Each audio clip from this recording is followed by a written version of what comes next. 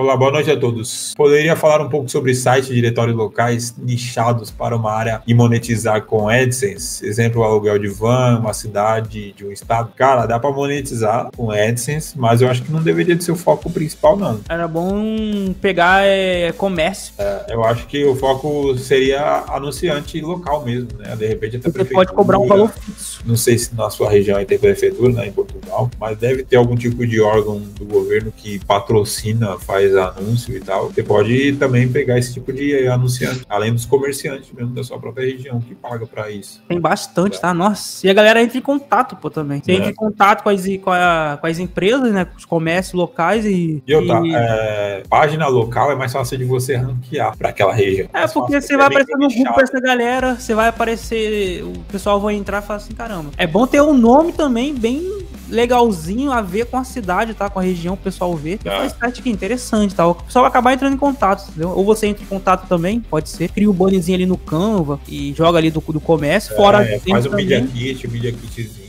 você cobra um aluguel, um valor fixo, ah, 250 reais por mês, 300 reais, sei lá. Aí você consegue um, uns outros comércios aí, mano. Porra, tá maluco. É, e você, é, no caso aí tá em Portugal, né? Mas é, é, você pode pegar e publicar o anúncio gratuitamente. Vai ser também conteúdo para você, porque o anúncio ele vai estar disponível na pesquisa do Google. Cobrar por destaque, tipo, pra pessoa ficar no topo, um valor, pra pessoa aparecer no banner, tá? Se você não sabe o Google AdSense, você ter um AdSense, você monetizando lá, você libera também o Google Ad Manager. Lá no Ad Manager, você consegue criar banners e rodar campanhas dentro do anúncio do Google Ads. É, mas aí ele aproveita o mesmo espaço, ele aproveita o mesmo espaço do, do, do, bloco de anúncio do Google Ads, só que ele vai aparecer as suas campanhas que você roda no Ad Manager. E aí você consegue monetizar isso pro seu público local. Hein, mas agora que eu tô vendo aqui, né? Portugal, não sei como é que funciona não, cara, isso aí. mas é isso daí eu acho que é geral no mundo inteiro, né, cara? Mas aí é um, é um país pequeno, diz que o marketing lá é bem fraco. É, então o pessoal tem muito tem velho lá também, lá em Portugal tem muito velho, pessoal. Tem smartphone. Se ele criou um guia para esse tipo de situação, ou se ele tem interesse nisso, é porque tem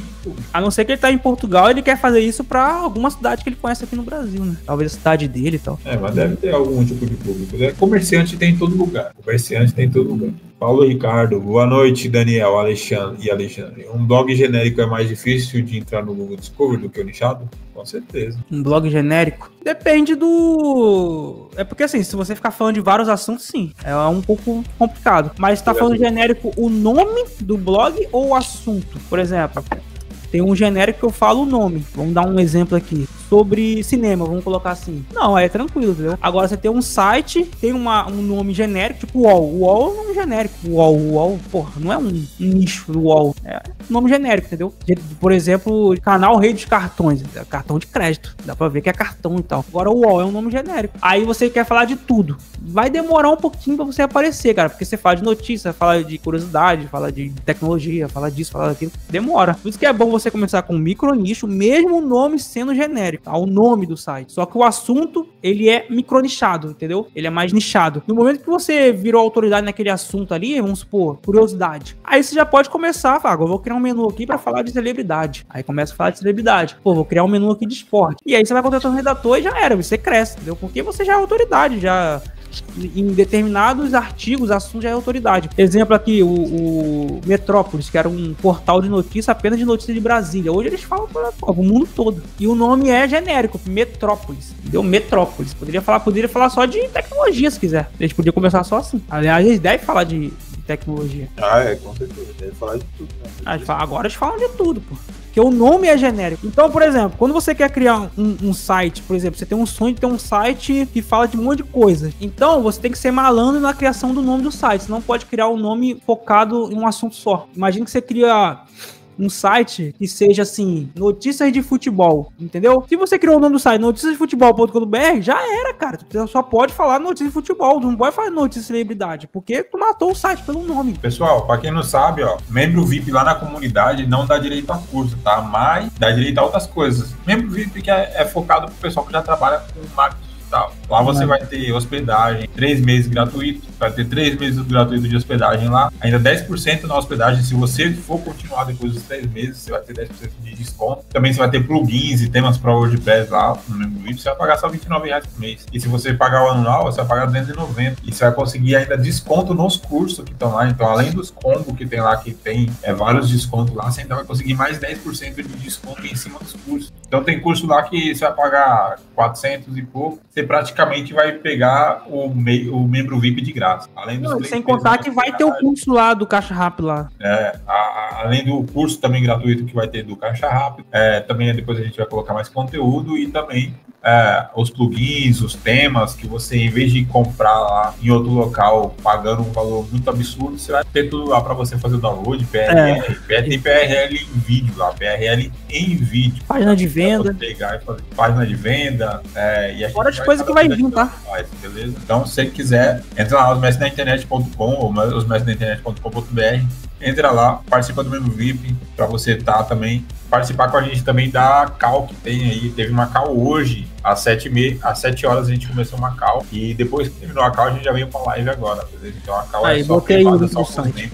Botei o link do site aí, ó, os Internet, pra quem não conhece. Uh, é isso aí, pessoal, e sem contar as outras coisas que estão vindo, hein? Sem contar as outras coisas que estão vindo. Don, Donald Stop, muito obrigado, vou colocar em prática suas dicas. Leilão de carros importados e carros importados. É isso aí, mano. É. É carro mais, mais caro. Cara, é bom, é você, carro... você dar uma olhada no Trends, tá? Você vai para trends.google e dá uma olhada, pesquisa lá sobre carros para ver o que que tá em alta. Que aí você pegando os tópicos que estão em alta, são os tópicos mais buscados, provavelmente você vai encontrar ali alguns CPMs mais altos. E aí você cria o artigo baseado no seu CPM mais alto ali.